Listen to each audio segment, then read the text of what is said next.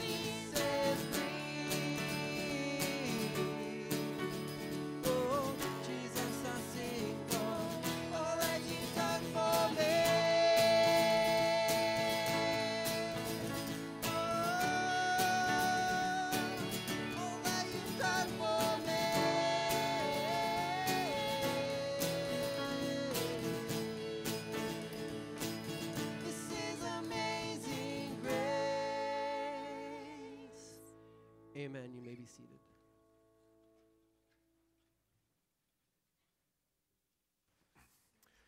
Well, good morning.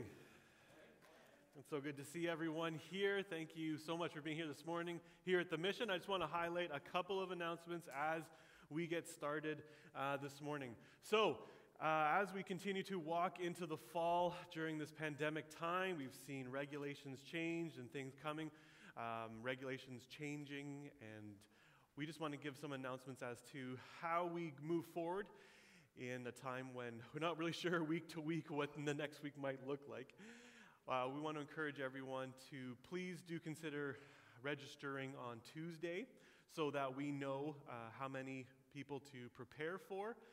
This week, we are pretty well at capacity, especially here in the sanctuary. We have even split our mission kids right off the bat so that they are downstairs and we are up here. So do consider registering on Tuesday so that we can get ready for that time and be prepared uh, to uh, just make those accommodations. Thank you so much, though. We are so glad to have a much fuller uh, building this morning. We're kind of excited that the kids can be meeting downstairs and we can just all be together. Uh, okay, this coming uh, Wednesday, youth group, we're back. We have a theme night this week. It's uh, theme night for uh, fall fair. A best dressed prize goes to uh, best dressed pumpkin or scarecrow costume. Uh, this is also the week, this is also a time for us right now, for those of you membership and all are welcome to participate in our nominations. Our nominations have been sent out, and you can fill them in through uh, the Survey Monkey online. If you'd like to do your nominations on paper, if you feel more comfortable with that, Nancy will be at the back after service at the coffee table with those that you can just fill out right there and hand them right back. Right now, the missions committee is taking in coats for kids. I wish I had actually brought up uh, a bit more information on when they're due back, but all these announcements will be sent out in an email so you can see the dates uh, as to when you need to bring them in. Trustees would like to everyone know, let everyone know that there's going to be a work bee yard cleanup on October 17th. And Aaron would like to host a fall festival, harvest festival, over the weekend of October 24th and Sunday the 25th. So, all of these details will be coming out to you as well. Next week, we would like to host our service outside again on Sunday. Please just be prepared for that. Look for our email that will probably come out uh, Thursday as we see the weather forecast and make a final decision then. But next week, weather permitting, we would love to be outside again, just enjoying the good, uh, the great weather, thanking God for what He has done, how He has led us and brought us through. But those are the announcements I want to highlight this morning. Let's just uh, continue in worship and let's just turn our hearts to the Lord in prayer. Father God, we're so thankful for your grace. We are so thankful for the gift you have given us. Thank you so much, Father, for your leadership. Thank you, Father, for what you have done. Father, we come to you this morning uh, from many different um, experiences this week. Perhaps, Father, we had a great week. Perhaps this week was really tough. Perhaps this was a week of uncertainty. Father, but we come before you with open hearts, and we come before you, our hands open, our hearts open to what you have for us. We give back to you an offering of our worship. We give to you our lives, our offerings. Father, we just acknowledge that your Son is the center of our worship this morning. In Jesus' name we pray. Amen. Please stand as we continue to worship.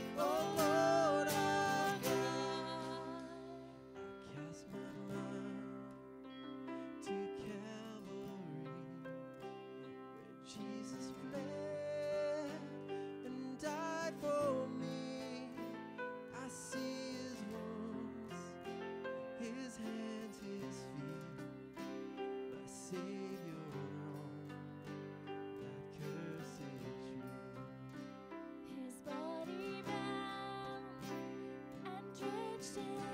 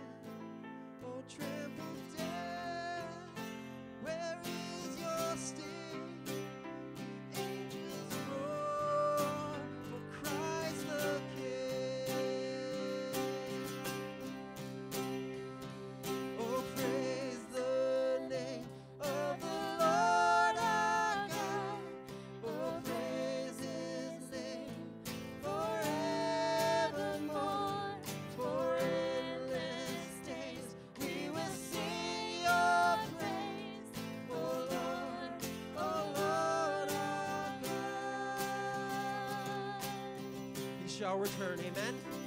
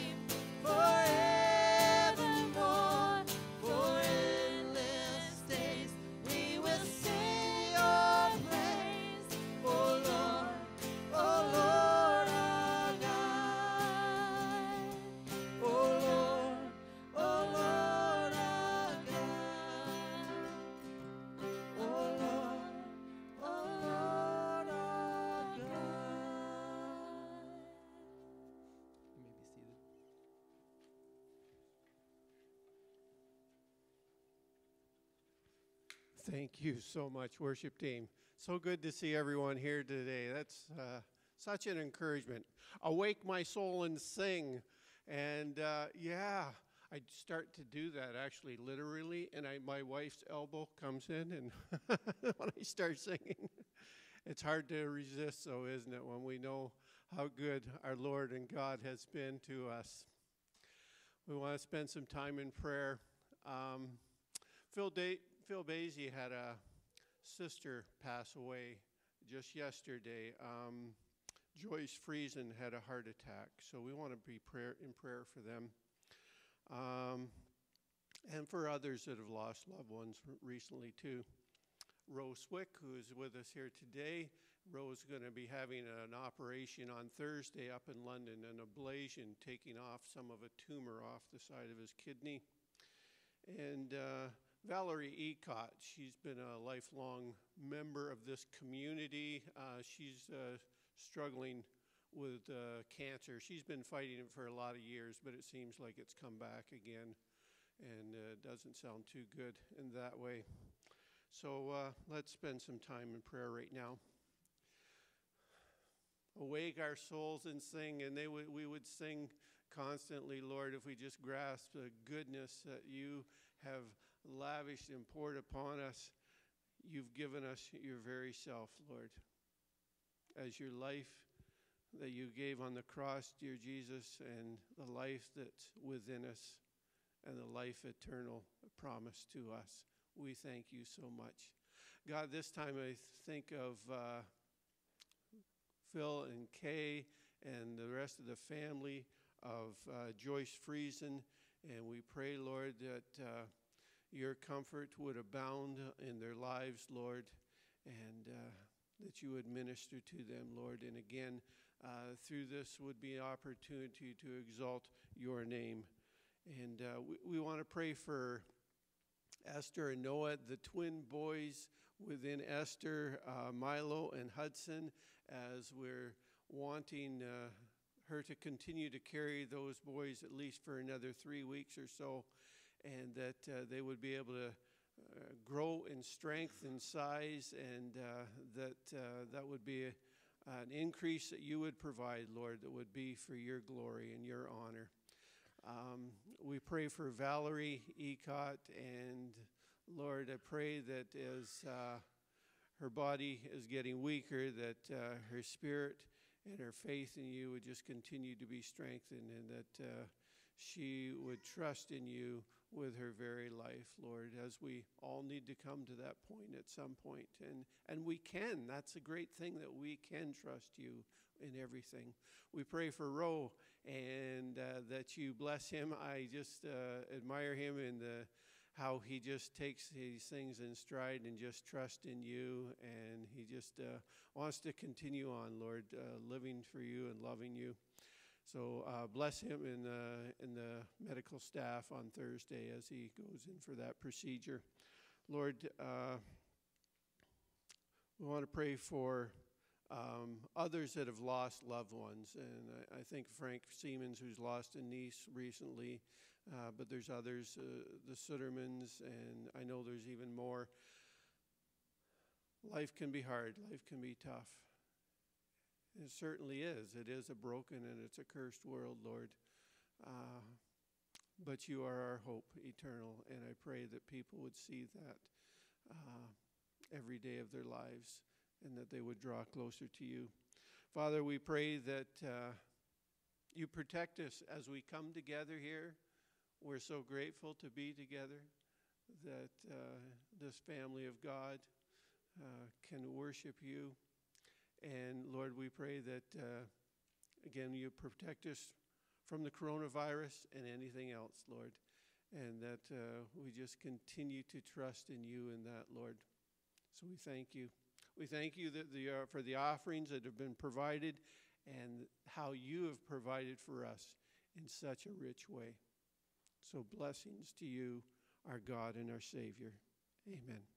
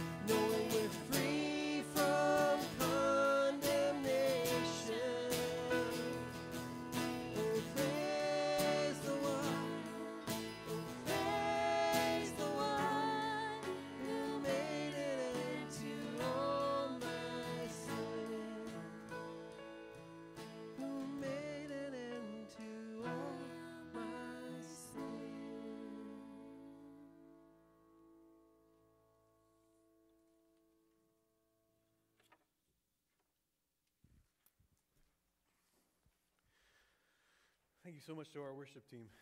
okay, as we get started, maybe this morning, I thought uh, I should maybe just take a few more minutes just to talk a little bit about Sunday mornings and uh, with COVID restrictions and things like that, just to kind of continue to bring us all up to date. Like we saw this morning, our mission kids, kids uh, in those age brackets for which we're providing classes for, they we separated them right off the bat, and uh, that will probably continue moving forward as we've seen a bit of an uptick in demand. And we are working to try and uh, get ourselves back to providing as many classes as there were before, but there are some hurdles we're facing, such as space and class sizes, and making sure all our teachers are back and feeling comfortable and everything still feels safe. We also need to prepare and stay flexible to a point where if we weren't allowed to meet back in our buildings again, how would that, what would that look like and how can we continue to move forward? So do just an encouragement to please keep up with our emails and our communications and things like that, which will help everyone just stay on the same page. We all just kind of have to accept that right now this uh, situation is fluid and dynamic and we love to be outside, and like I said, we will try to be outside next week again. But we are really excited that we can make uh, these steps forward. Uh, this past week, we, I had a uh, cluster meeting uh, with the BIC and, other, and all the other ministers, and came to find out that amongst all of the community churches in the BIC, we're the, we were the only ones who were able to really be back inside our building as of October.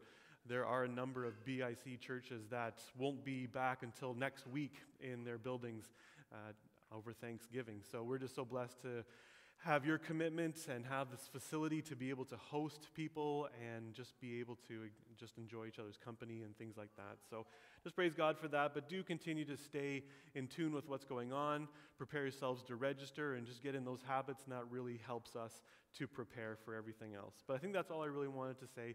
Moving forward, like I said, we will probably continue with this pattern of children separating from their parents as soon as you get here so that they can have adequate amount of time we can have more capacity. We'll have sort of two clipboards going, one reg- registration downstairs, registration upstairs, and we'll, in that sense, be able to find out uh, how much capacity we can have and use our building to its fullest potential. So, next, uh, next Sunday, Thanksgiving Sunday, marks the official start of what us Canadians probably would know as the season of hospitality.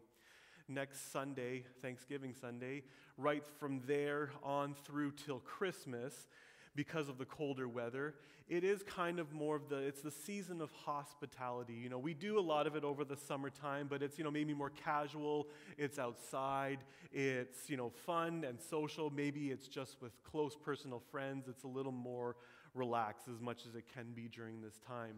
But from Thanksgiving on till Christmas, and I know that maybe normally pre COVID times, maybe some of you even engage in American Thanksgiving.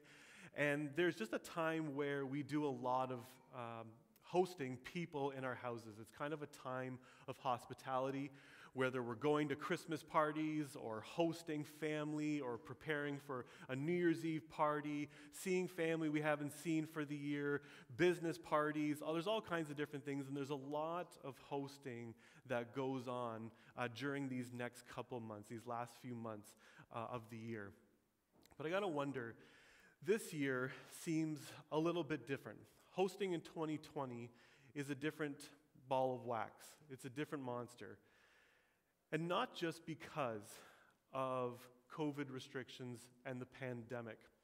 This sermon isn't about how to host a turkey dinner over an internet video chat, but rather, uh, this service is, uh, this sermon is about the fact that this year we find ourselves entering a hospitality season in a time of divisiveness, a time of sectarianism, and a time of opinion and dispute, arguments, disagreements.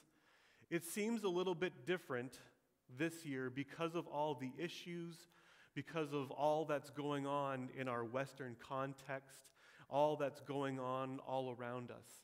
This seems to be a season where we're entering a time of care, a time of love, compassion, and charity, but we're entering it with a lot of divisiveness, a lot of opinion in our hearts.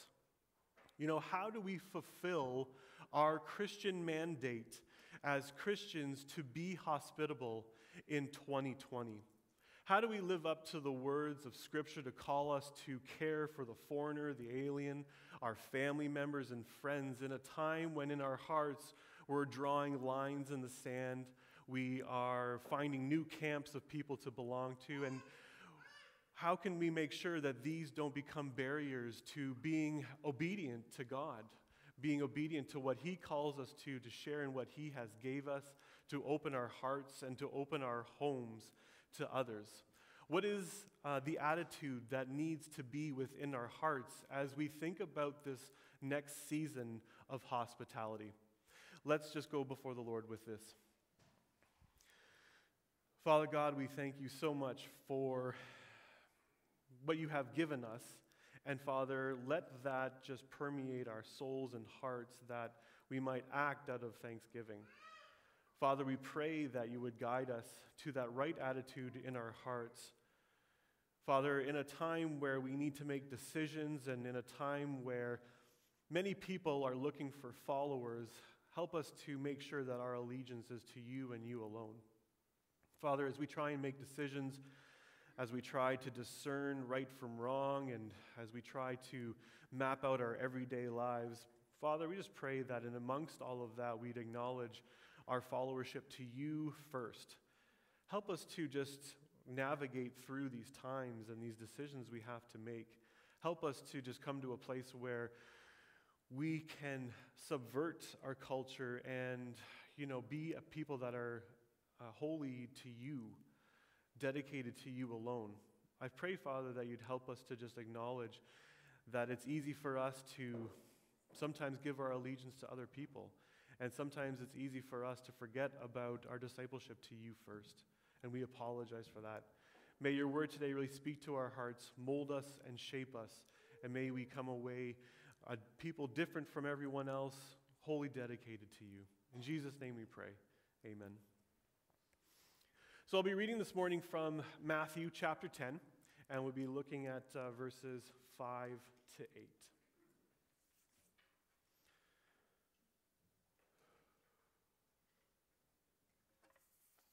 Okay, Matthew 10, verses 5 to 8. These 12 Jesus sent out with the following instructions Do not go among the Gentiles or enter any town of the Samaritans Go rather to the lost sheep of Israel. As you go, proclaim this message The kingdom of heaven has come near. Heal the sick, raise the dead, cleanse those who have leprosy, drive out demons. Freely you have received, freely give. So there's no doubt that as Christians, we have a real mandate to be hospitable to be charitable, and to be compassionate towards all around us. It's laced throughout all of Scripture, dating right back to Genesis. We see the first sort of act of hospitality amongst Abraham in Genesis 18 as he's hospitable to three travelers that he doesn't quite know and he gives them shelter. And then from there, it unfolds that God actually ingrains it into the Levitical code and throughout Jewish law that we should be a hospitable people. And God has very specific instructions on how we are to treat the alien or foreigner or sojourner, as Scripture calls them. And God has very specific instructions that we aren't to treat them any differently than how we treat our own. Perhaps it's no more clear than in Leviticus 1935, uh, 1930, verse 34. The foreigner residing among you must be treated as your native born. Love them as yourselves, for you were foreigners in Egypt. I am the Lord your God. So, right ingrained in the Jewish law is this the command to be hospitable to all and to not treat anyone, especially foreigners, any differently than ourselves and our own native people, our family or friends, or anything like that. There is a real command to do that. Hospitality, in many ways, is theology in motion, theology come to life, as God has been hospitable to us through the giving of his Son. So we display God's hospitable love towards others in the giving of ourselves, opening our homes and our hearts toward others. The mandate is clear to receive people into our homes and to give as we're able, to sometimes give more than maybe we feel like we can, but to be compassionate and to be charitable to all. But this year, a year full of divisiveness, of opinion, and rising sectarianism, there might not be so much desire to give of ourselves to others. Yet we know it couldn't be more important during a time when we're all a little more isolated and we're all a little bit more alone. And it's very helpful at a time like this. Today's passage points us to an attitude that we have to embody in our hearts because it has the power to subvert and dismantle hostility. So, the context to our passage today is pretty simple. Jesus is sending out the 12 for their first missionary journey. Now, it's interesting that verse 5 outlines Jesus' command, and the first command he tells them is actually to just only go to the people of Israel, to not go out to the Gentiles. And there's a reason for it. Uh, throughout history, God has always brought salvation to the Jew first and then to the larger world so that the world could look upon God's people. They could see what salvation looks like manifest in everyday life. And it would be sort of uh, an appeal, a way to soften their hearts, a way for them to see what God is actually like. And then, you know, the hope is that they too would look and turn towards God or Yahweh as well. You know, for the Jewish people, it had to happen that way. If it happened the opposite way, if it had come to the Gentiles first and then to them, they probably wouldn't have recognized it as coming from their God.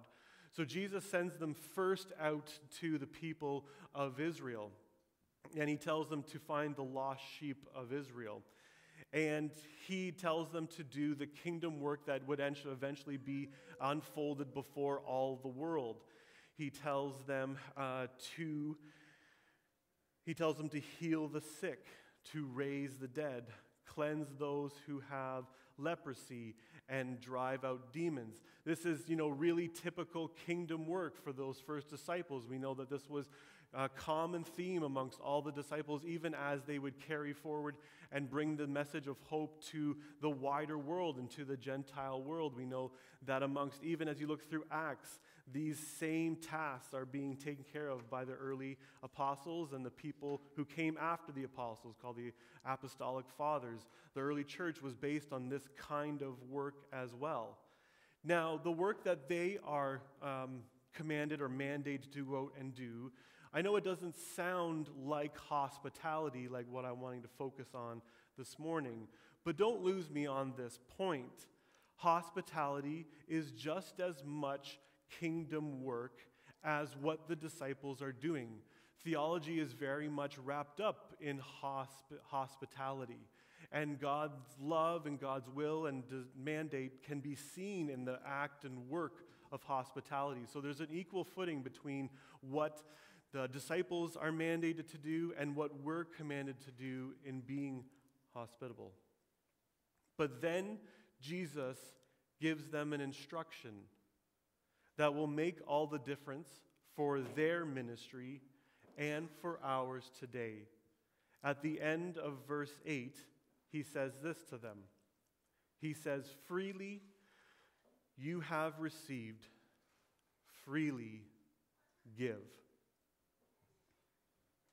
You know, when we think about hosting, we are often motivated to host because we get something out of it right? There is the hope of making good memories, good food around a table, sharing memories, swapping stories, conversation, and building relationships. We think of the, you know, the picturesque times together, laughter filled with fun and good times. But this year, because of all that's going on, and maybe because of family history, it might seem like something we want to curtail. Maybe this year it's tempting to want to curtail and alter who we're be willing to be hospitable towards. Those who we're willing to be charitable towards, charitable towards, maybe we want to do that to those who are like us, those who we agree with, those who we know we can have a good time with because we're, we're on the same page on all these issues that we, that we face. You know, if we don't do that, then maybe things don't go the way we planned it, the way we drew, drew it up in our heads. You know, maybe it's just too risky to have a certain person over because they disagree with us on certain issues. You know, those are the reasons that motivate us to want to host people. But Jesus' instructions to his disciples have two big implications for how we do hospitality and how we do ministry in general. First, the idea of freely giving implicates who receives the benefit. In this case, it is everyone. Yes, I know that Jesus has told uh, his disciples that this time they are only to go to the people of Israel and to the lost sheep of Israel, not to the Gentiles. But I would make the case that the people of Israel were a very diverse culture. They had a number of denominations within their Jewish religion Pharisees, Sadducees, Essenes, you know, Qumran communities, Zealots. They, had, they were just as diverse as we are. They had rich people, poor people, everything in between, and they were a diverse community as well. The disciples knew that anyone is eligible to be the benefactor of their work. You know, not just those who have a similar political view or take a similar position on social issues. Anyone. And that's an important thing for us to remember as we enter into this time of hospitality that anyone qualifies for our hospitality because God extends his grace to anyone and everyone. Secondly, the idea of giving freely, this command also implicates what benefit the disciples should expect to get in return, which in this case is nothing. Freely giving means that they were to go out and let others receive the benefit of their work without an expectation of receiving a benefit back. You know, we do a lot of things with a transactional motivation. If we do all this work, we want something in return. And if we do all this work for people that we feel are our enemies, or people that we feel will disagree with us, or people that just won't go along with the plan, that doesn't boast well or it doesn't give us confidence that we're going to get a return. You know, we're not going to have the, you know, the fun, cheery time that we hope for. Or, you know, we're just not going to be able to make a difference or change their life the way we want to be able to do that. We want the memories or at least maybe sometimes we want the prestige and the respect of opening up our homes and offering people to allowing people to come in, right? There's the prestige of hope, hosting people in our homes. But you know, in a world where every camp is currently lobbying for followers to build their own kingdoms, selflessness can go a long way in subverting this hostile culture that we are all currently finding ourselves in. You know, even though this instruction is attached to the work of the disciples, it very much speaks to an attitude that we need to embody in our hearts in the coming months. Hospitality is simply an extension of the gratitude we have for what God has done for us. To freely give means that we freely give to anyone. And to freely give means to freely give in a way where we don't expect uh, anything in return. It is simply an extension of what we have already been given in Christ. That's the, I wouldn't even say the return, but that's what we have. That's the motivation behind, behind how we do hospitality in 2020. How we subvert the, the tension that we find in our culture and the way that we dismantle and disarm the hostility we find in everyday life as we encounter people who are on different sides of all kinds of different issues at this current time. And you know, it shouldn't be limited to just those we are willing to receive in our homes. Hospitality, in many ways, and this idea of hospitality because of what Christ has already given us, is a way to relate to everyone on an everyday basis. You know, extending any kind of courtesy to all out of gratitude is a way to relate to each other. And how important is that right now? You know, the, the attitude in our hearts that God has given us these things and you are welcome to share in them with me is a posture and an attitude that could go a really far way in today's culture, into the current climate of divisiveness and opinion, and as we move forward into the coming months. Is a way for us to be able to rebuild and restore our humanity, as it seems, in my opinion, that right now we're struggling to keep it. And so, hospitality speaks as sort of a microcosm of the larger issues that we face in today's world in this current climate that we find. A way to extend people grace and, and extend them charity and compassion in a time of hostility and a time of growing sectarianism and new camps as our culture tries to navigate through these issues that we all find. So, for you this, this week, and as we prepare for Thanksgiving, Thanksgiving who do we suppose that we might not offer hospitality to? Who are we fearing will come over to our house to ruin Thanksgiving dinner? Who do we fear sitting across the table for? Who this year is our enemy? And Jesus Christ in our hearts is about reconciling and remembering that we were enemies of God at one point, but through Jesus and the work he did, we were able to reconcile with God Himself. And can we not make that attempt to reconcile with those who we might consider our enemy this year, those who are different from us as well?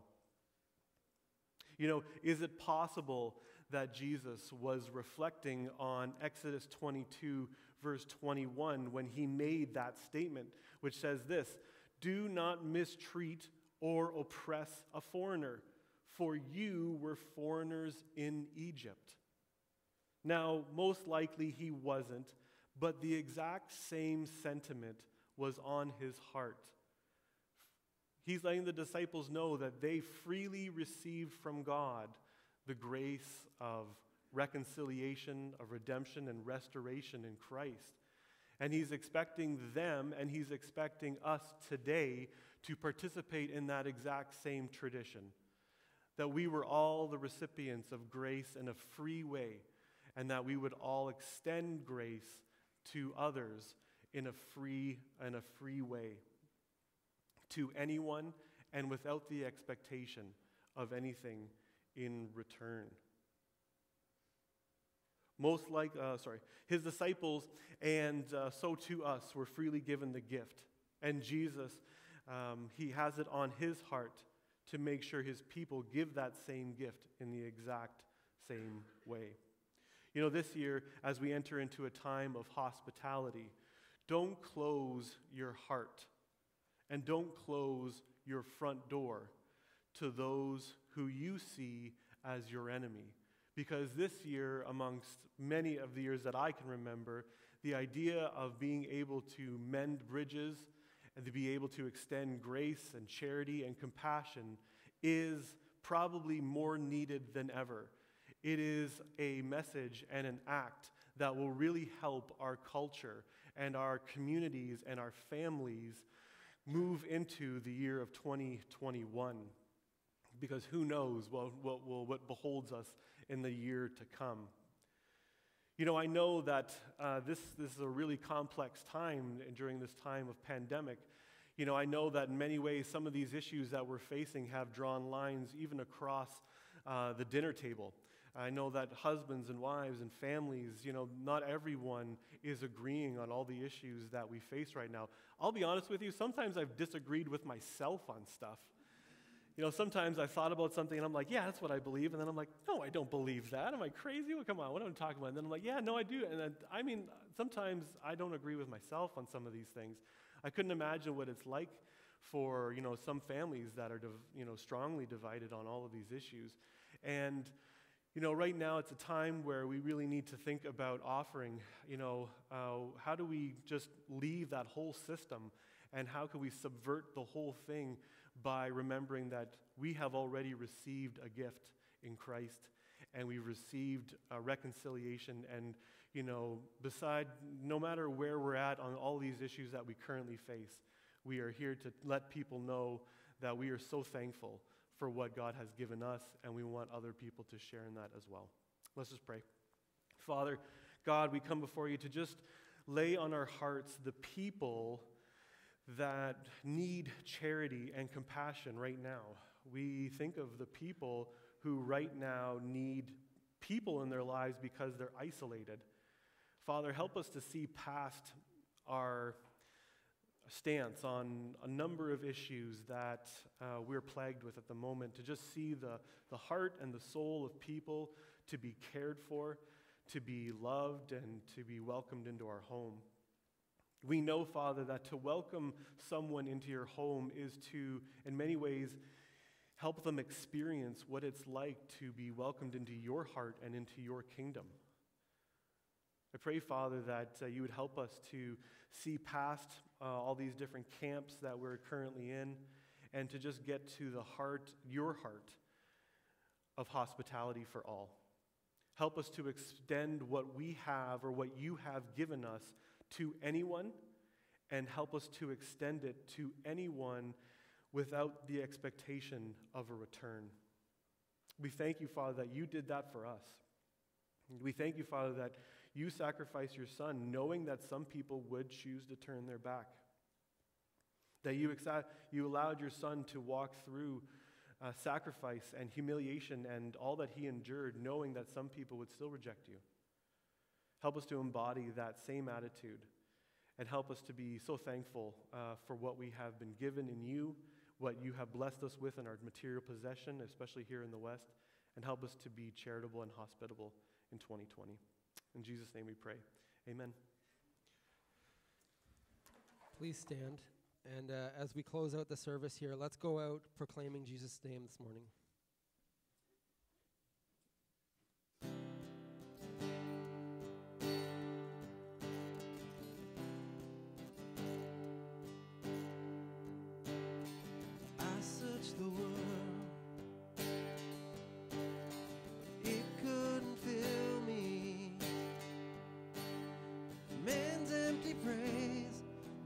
Treasures the fade, never enough.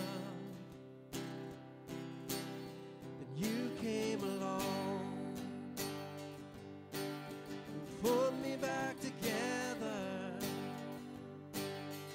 Every desire is now satisfied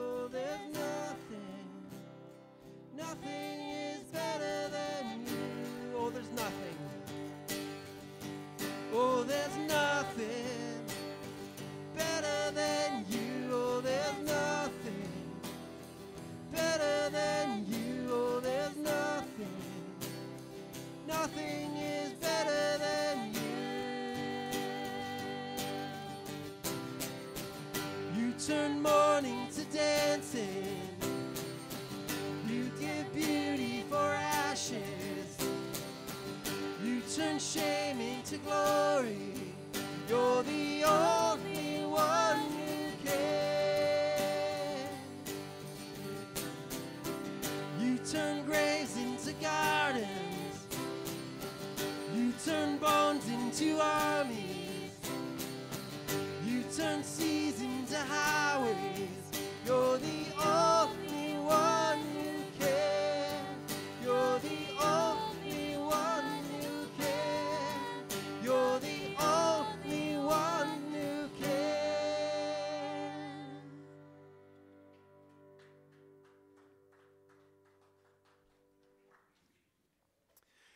As we depart uh, today, reminders, for the, especially for those who are maybe joining us for the first time inside, that the uh, ushers dismiss row by row so that we can all leave in a safe way.